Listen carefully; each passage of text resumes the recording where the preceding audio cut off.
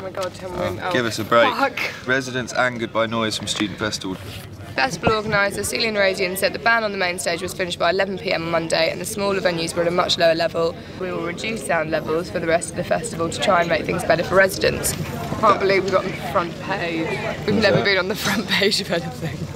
Well, it's a good picture, isn't it? Makes, I like the way they're on the stage, so it's a great shot.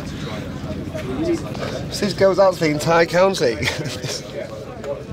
That's quite a big newspaper. It's just what they don't need.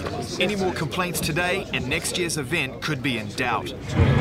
Makes me feel. I don't know. It is very hard having this event here. I don't know what I can do to make it better. I mean, we're, you know, we obviously are worried about it. This has been one of our biggest problems this year, which is kind of frustrating when you've put the, you know, everything in place. But there's another problem boiling.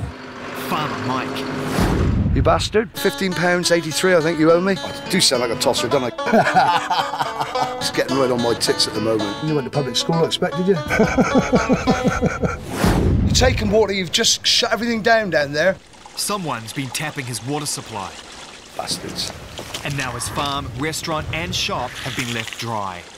Perhaps instead of posing around with cameras and walking around, we just get things organised. Can you not shout at me, please? It's Oh, not fair. don't give me Mike, that crap, no. Mike. Mike. Water again? Water again. Yeah, I mean, how many times have I had to come up? And now, you've shut us right down down there. I know you say I shouldn't shout it, but the only time I get any response is when I shout at somebody. People didn't know not to use Mike's supply to fill a Bowser rather than our tanker. And Mike's a very honest guy and said, I'm fucking angry because I've got no water in my cafe. And I couldn't agree more with him. Um, so that's solved. Well, I'm sorry, Mike.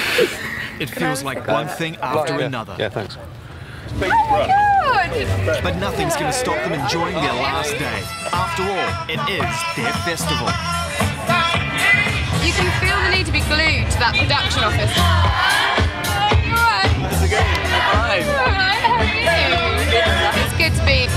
And seeing it um, because I think you can be, feel very disconnected. You know, you can almost like everyone keeps coming back going, "Oh my god, it's going so well," and we're like, "Really?" With a packed site and the bars doing great business, things are finally looking good. Today it's our last day. We can't be like, "Oh, tomorrow we'll do it."